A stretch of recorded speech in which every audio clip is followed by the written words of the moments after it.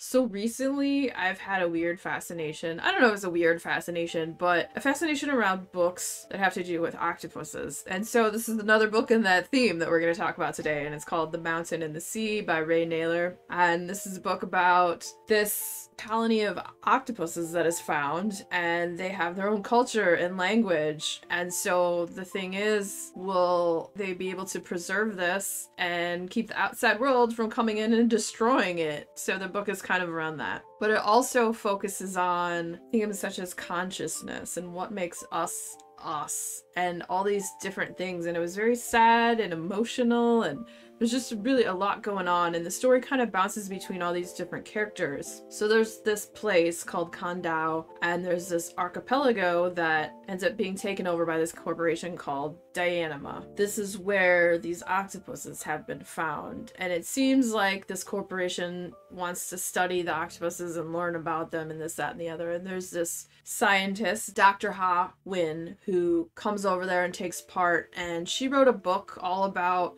like a theoretical kind of thing that if octopuses did create their own language and culture, like how it would kind of go. So they reached out to her and she's going to come work on this island and basically try to communicate with these octopuses and see if this is a real thing. Like she doesn't even quite believe that it is, but she's very curious to see what's going on there. And so she comes to this island. And on the island is also these two other people. You can call them people. One of them is Evrim, who is an android, and the other is Alton Setseg. I'm not sure how to say her name. She kind of oversees all the security of the island and making sure no one breaches and comes through and you know, attacks them or tries to like come in the waters and harm any of the octopuses and whatnot. Because there's all these other people that seem to want to come in and harm them and take everything away. So it's this kind of like tumultuous story about what's happening and there's these other ships that are like ocean trawlers that go out and you know they trawl the seafloor and they uh, have this weird thing where people who work on them are basically slaves that were captured and sold into slavery that have to work these ships and process this fish and whatnot that also plays into the story. I don't want to say too much about that because I don't want to give away too many things. But the whole themes and stuff of the story was really emotional and moving and just the whole like the consciousness of self like what makes us us what makes the octopuses them and like how would you bridge that communication between different species like how you know like a human like if we could talk to dogs or something you know how would you how would you figure out what they're like? What does this wolf mean? You know like something in those lines. And it was really fascinating to see it play out in this book like the theoreticals you know it's it's a sci-fi book but it was so touching and like quietly beautiful in the way it was written and the the themes and the concepts that it explored. And so before you go into like some of the chapters you have these like little passages that are taken from the books that Dr. Ha Nguyen wrote, or also this other woman who's like the head of Dianima, Dianima, Dianima, I'm not quite sure how to say it, Dr. Minerva Doser Chen. She's the head of this place, and she also wrote a book. She created Evrim, the android.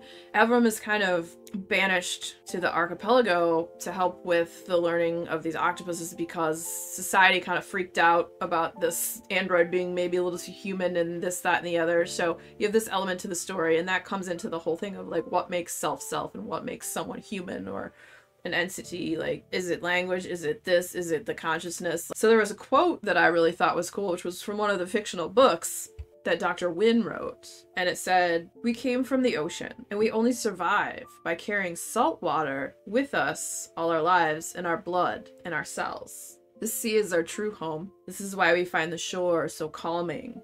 We stand where the waves break, like exiles returning home. And for me, whenever I'm near the water, I've always felt like it was home. I claim water as my favorite element because it truly is. And it's funny, I have I have so much art that is just like water features into it. So I just have like a, a, very like an affinity for that. So that's probably why I'm drawn to reading books that have to do with like sailing on the seas or creatures of the seas or horror of the seas. I find underwater and the ocean and water just like a fascinating subject. And, you know, as, as I just said, being by the shore of the ocean or lake, it feels like home. And so that quote kind of spoke to me. The whole thing through the story is will they be able to communicate with these octopuses? Do they actually have a culture and community and language?